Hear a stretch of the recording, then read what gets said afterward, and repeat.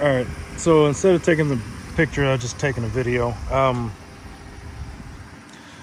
that's what it looks like. Uh, the spacer goes right underneath there and the hinges. Then you put some longer hinges in, but that makes it so that hot air or the air comes through and it's not basically just getting blocked until it can go underneath the car. It comes through and it can pop out here. um, let me shut it off.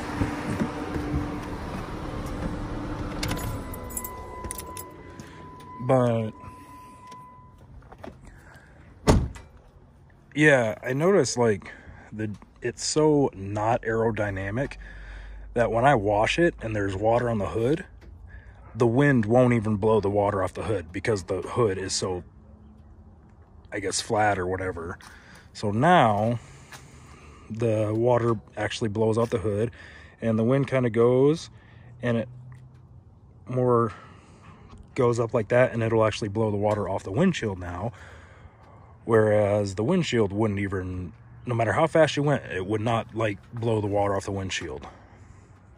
But yeah, I, I ended up doing that and it helps hot air escape out of it. Um,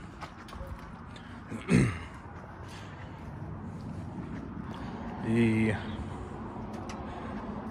with the snorkel on it I did have to take the snorkel off and then heat up the plastic there and kind of bend it a little bit so that it would open up.